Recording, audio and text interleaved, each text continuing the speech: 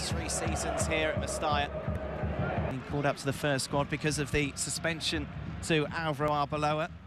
Sergio Ramos didn't even make the squad. Though Mourinho confirmed that wasn't because he dropped the trophy. Well, that's amazing, isn't it? I mean, the galaxy. Just it's amazing what catches people's attention.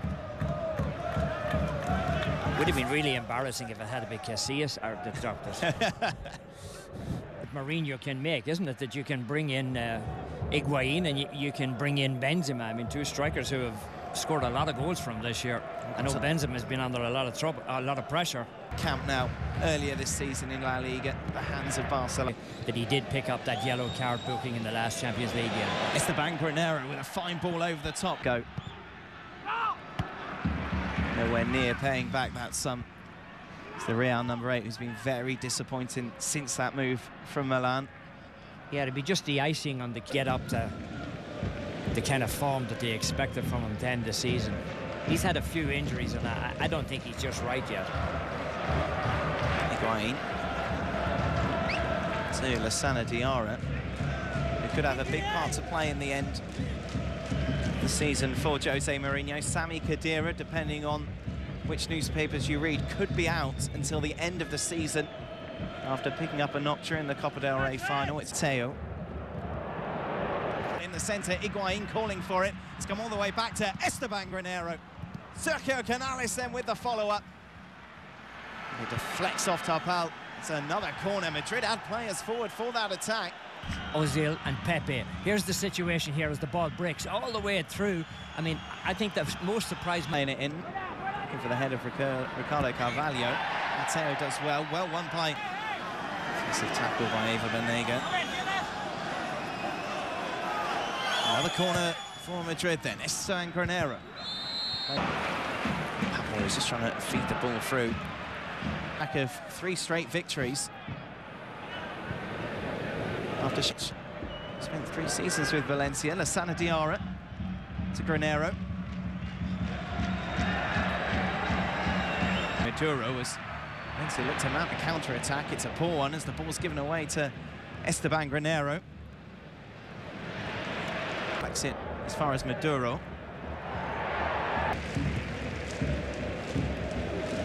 Scrappy stuff so far, really, here. Esteban Granero knocks it back into Raúl Albiol. Well, you'd imagine it takes Real Madrid longer to gel. I mean, there's so many. I mean, Valencia really haven't gotten going, and they haven't. Debut for Real Madrid, knocks it to Lassana de Carvalho. Solid in defence.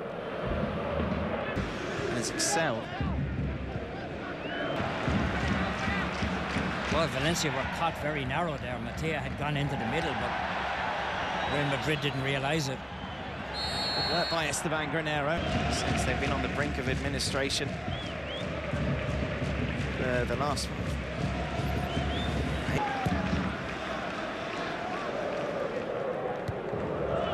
Sana Diarra. It though as, as far as Duro.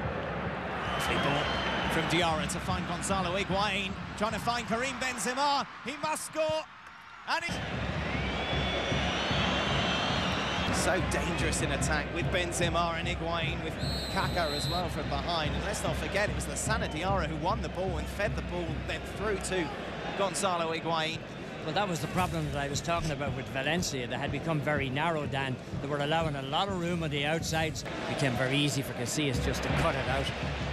Sana Diarra, five points.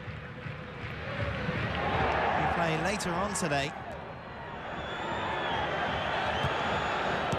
Nice challenge by Albiol and then good work by Diarra. Oh, Diarra's clearance. Zimmer. Stankovic with an important touch. We've seen very little of Mata so far, as I say, Pablo Hernandez. Key clearances, that'll build up his confidence. Ever Banega. One for the future. There.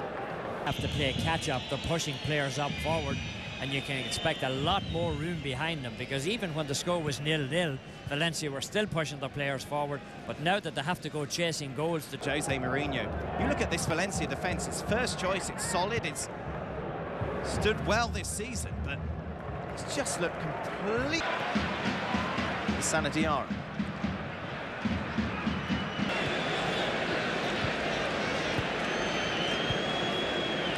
Emery's just switched things here. Pablo Hernandez coming to play on the near side. With Juan Mata now out on the right, just looking to a little bit of spark to this Valencia attack, which has been extremely brought down, but the referee says no penalty. Well, the referee was right on and he was very decisive about it.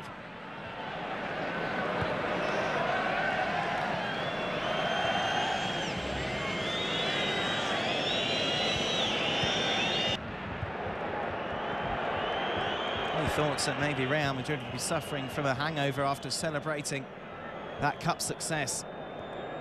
Certainly been put to bed here in the opening fourth. Ruthless in front of goal.